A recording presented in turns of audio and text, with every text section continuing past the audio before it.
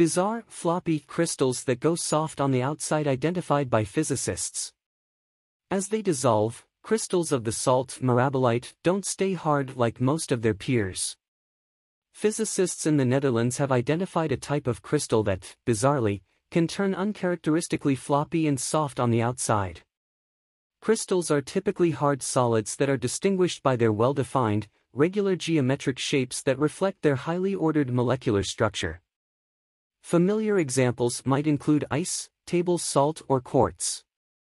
Certain salts which already contain water in their chemical structure, however, lose their shape and hardness in the process of being dissolved by moisture.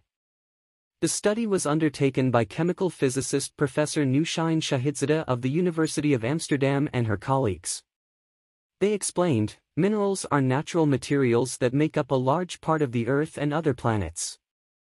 Their physical properties are generally determined by their constituent chemical elements, the crystal lattice defining the arrangement of atoms and the nature of bonding. Some of these properties, they note, are of great technological significance, such as, for example, if they are fluorescent, magnetic, or radioactive. The researchers continued, among these properties is the crystal's tendency to absorb moisture and be dissolved by water, which is called deliquescence and occurs above a critical relative humidity.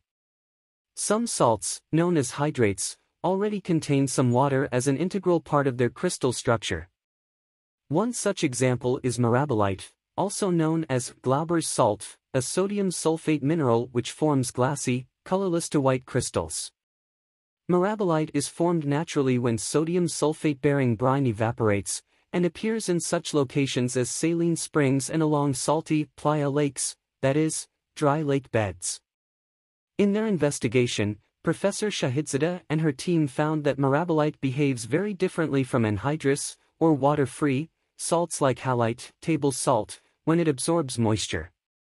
The researchers studied mirabilite, as well as halite and another anhydrous salt, thenardite, the totally dried form of mirabilite, as they crossed their respective deliquescence points. They said, using various microscopy techniques combined with Raman spectroscopy, we show that mirabilite crystals not only lose their facets but also become soft and deformable. As a result, microcrystals of mirabilite simultaneously behave crystalline-like in the core bulk and liquid-like at the surface.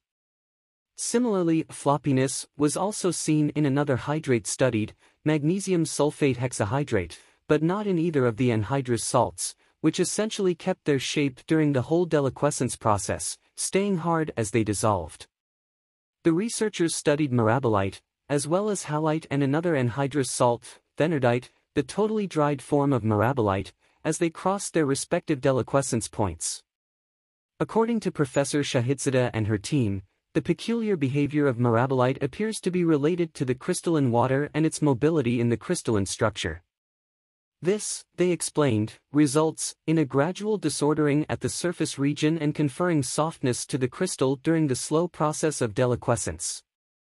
Beyond being bizarre, the findings may have practical implications, the researchers explained. Deliquescence in general, they noted, has a major impact on the stability of crystalline powders that are important for example in pharmacology, food science and for our environment and climate. More specifically, they added, controlled hydrated salts have potential applications such as thermal energy storage, where the key parameter is relative humidity rather than temperature. The full findings of the study were published in the journal Nature Communications.